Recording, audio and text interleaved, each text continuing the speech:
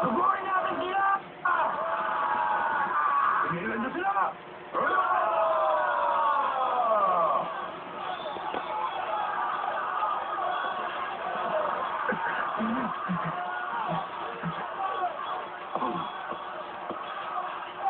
Mga hangal sila. Gusto talaga nilang makalagpas sa unahan. Kumanda kayong lahat. Paputukan niyo ang mga barko ng kalaban at mga pirata na sumusugod sa akin. Apo!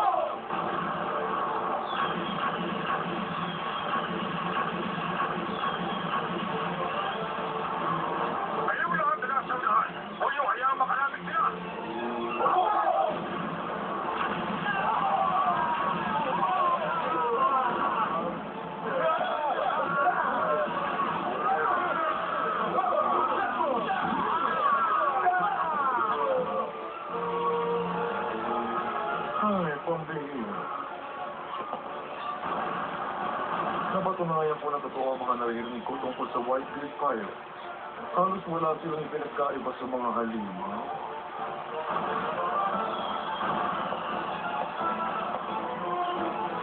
Para matapos ang lahat ng ito ng konti lang ang mawawasan.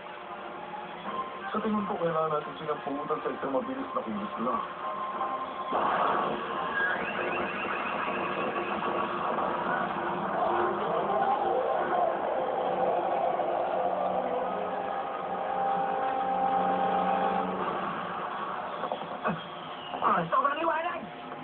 Yan?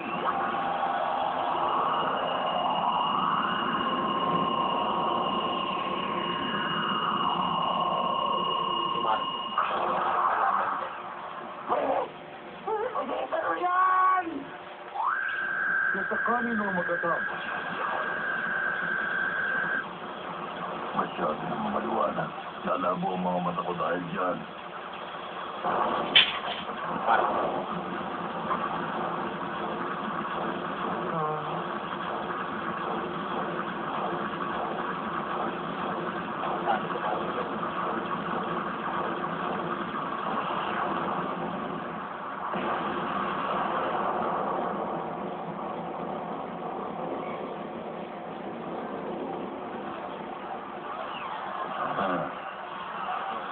Tingnan niyo!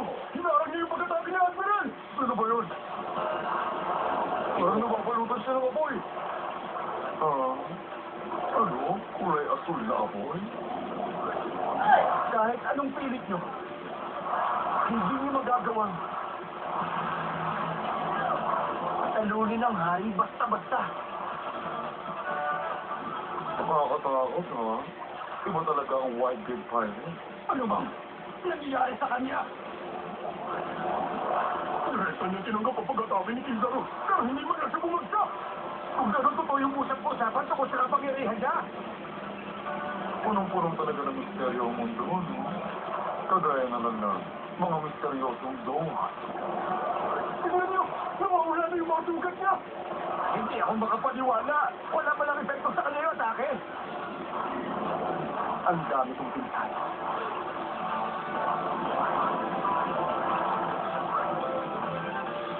Halatang-halatang nagsisinungaling ka.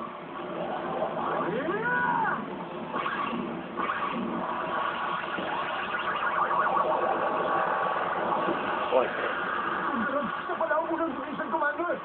Kahit ano ang ang tanggapin niya, nabubuhay pa rin siya gamit ang apoy! From Phoenix na si Marco! Ngayon lang ako nakakita na. Kanyang kagandang ibon.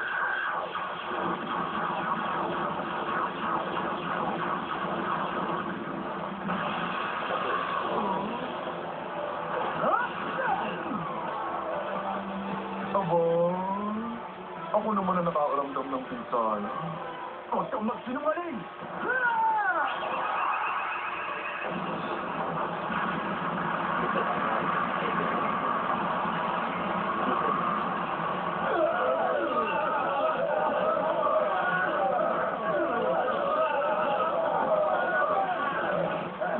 Pagawa niyo pa sa sige sa ng ganon! Imposible! Admiral Kizaru!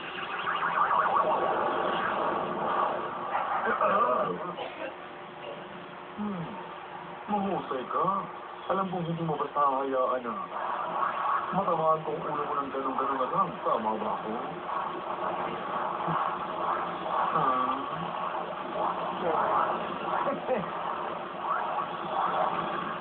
Kayo dyan. Dapat mag-abang-abang din kayo mula sa langit. Siguro. Oh!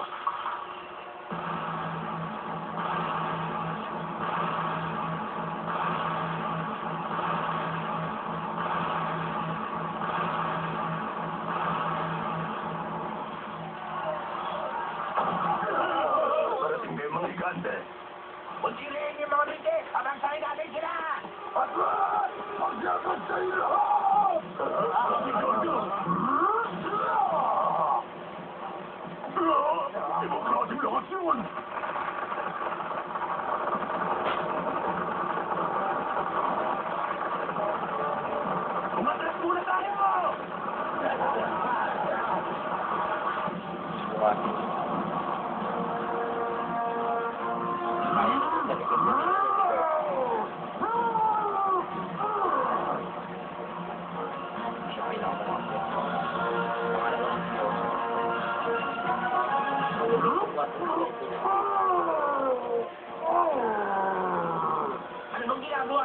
Niya? Sumukan niyo po kung kaya niyo!